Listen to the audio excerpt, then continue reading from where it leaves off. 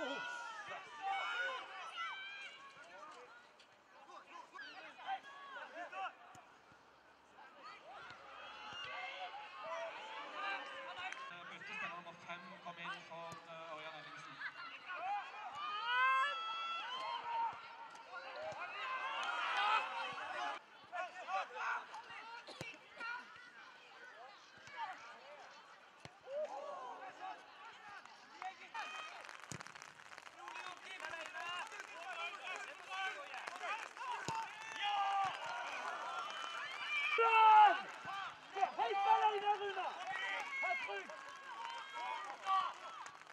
Nasıl bu? Nasıl bu?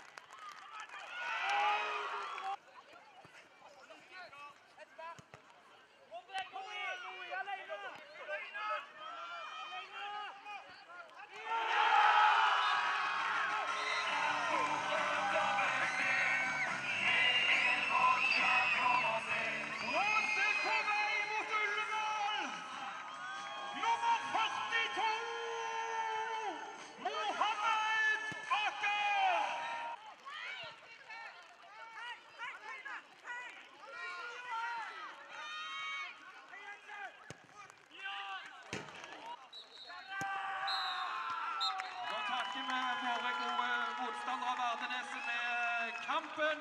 Takk til dagens eh, dommertrio. Og så plasserer vi Brodd i hatten, men nemlig på vei mot eh, Ullevål.